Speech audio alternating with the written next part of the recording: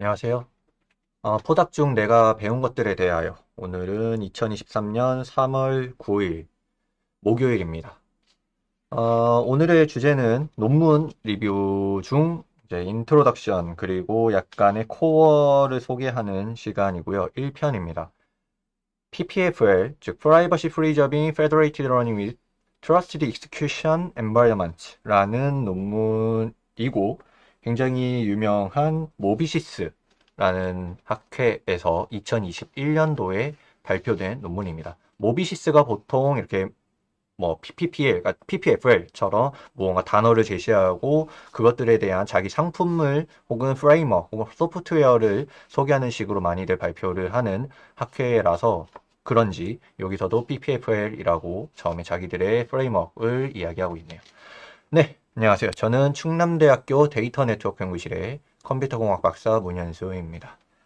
어, 그래서 이 논문은 어제 올렸던 논문 중에서 논문에서 참고로 하고 있는 그 related work에서 언급을 하고 있는 논문이고 좀 읽다 보니까 어제 했었던 논문을 좀 더 읽다 보니까 어, 이 trusted execution environment를 좀 알아야겠더라고요. 그래서 뭐 이게 좀 현실적으로 우리가 구현을 할 때 응용 서비스까지 만들어낼 때 굉장히 중요한 topic이 될 것 같아서 좀 공부를 하는 중입니다. 근데 이걸로 뭐 이 논문 하루에 다 읽는 건 사실상 좀 어렵고 저에게도 굉장히 처음 접하는 정보들이 많아서 약간 잘라서 이건 좀 끝까지 읽어봐야겠다라고 해서 1편 먼저 올립니다. 어, 우선 introduction motivation을 알아야 되는데 federated learning, 즉 연합학습에서는 공격이 충분히 이루어질 수 있습니다. 보통 연합학습이 개인정보를 보호한다라고 알려져는 있지만 개인정보가 노출될 수 있는 공격의 완전 내성은 아니에요.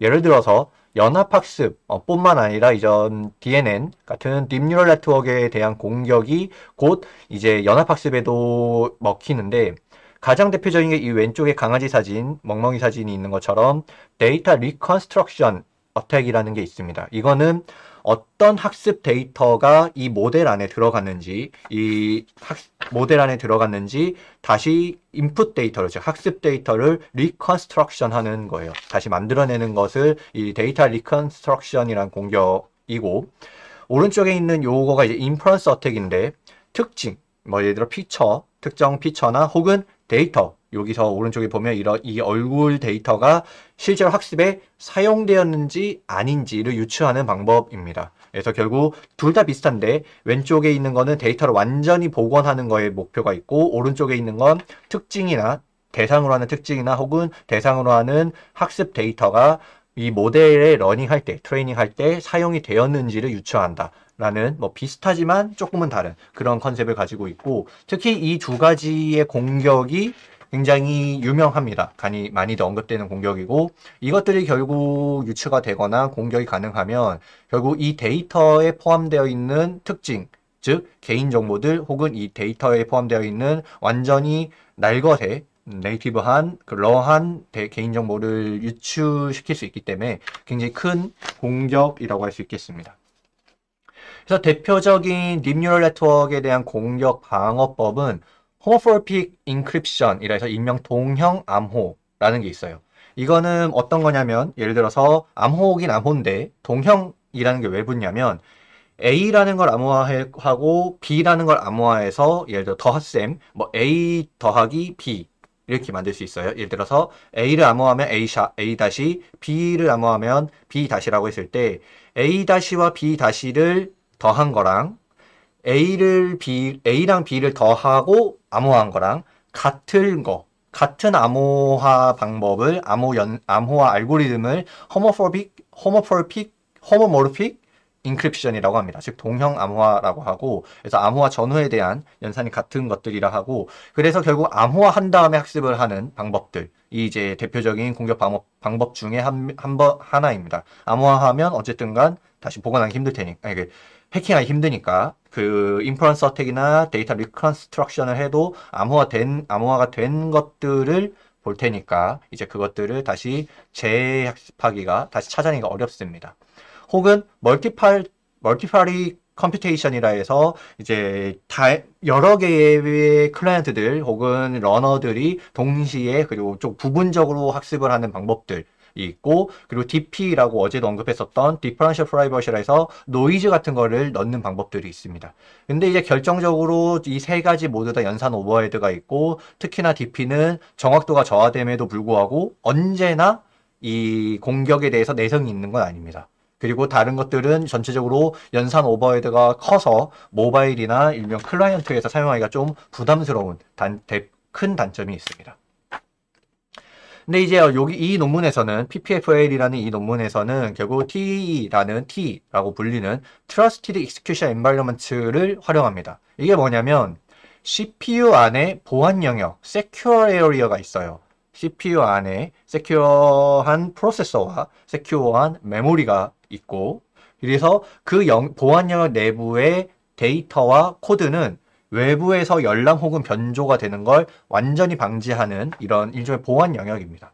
그래서 현대 CPU에는 아래쪽에 hardware support라는 이제 위키피디아에서 가져온 거고 깜빡하고 여기 첨부 안 넣었네요. 위키피디아에서 가져온 거고 요걸 보면 뭐 AMD의 뭐 Platform Security Plat Processor나 혹은 Secure Encrypted Virtualization 혹은 TrustZone 요 논문에서 쓰는 거예요. ARM의 TrustZone 혹은 인텔의 SGX라는 것들을 보통 씁니다.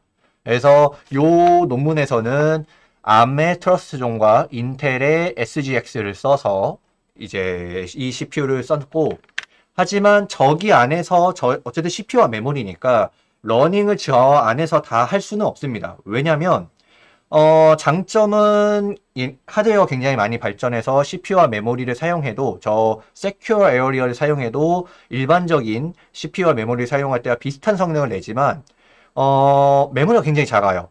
그래서 deep neural network, 즉 neural network 모델을 학습하는 게 불가능에 가깝습니다. 굉장히 작기 때문에. 왜냐면 굳이 이제 이 저 secure area를 넓게 가질 필요가 없는 거죠. 어쨌든 간 비슷한 거지 느려지긴 하니까.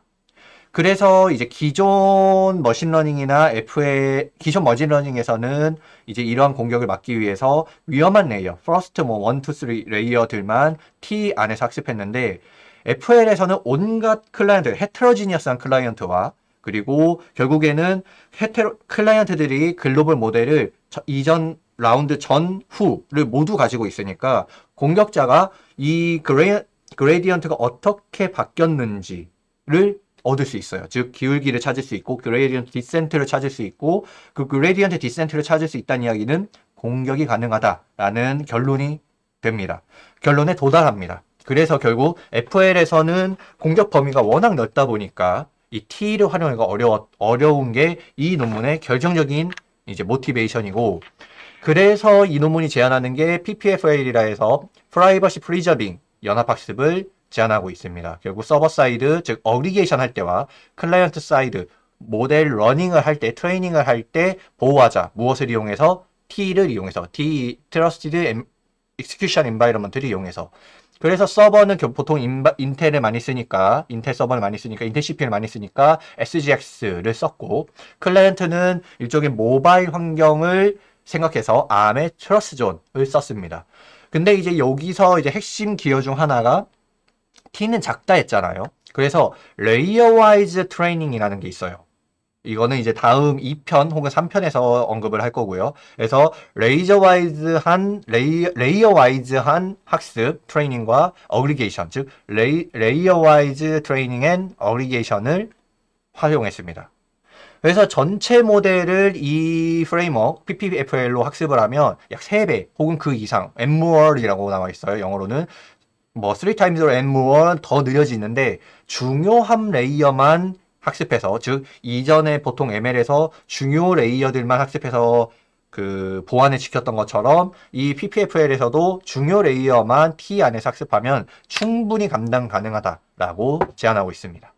이 framework의 다이어그램을 대충 보면 결국 요 빨간색 레이어 즉 프라이빗 레이어들만 T 안에서 학습해요. 그리고 이 프라이빗 레이어가 다 학습 T 안에 안 들어갈 테니까 블락 단위로 움직이는데 이거를 결국 layer-wise learning을 통해서 한 layer별로 한 칸씩 정확히 한 block씩 학습을 하는 거죠.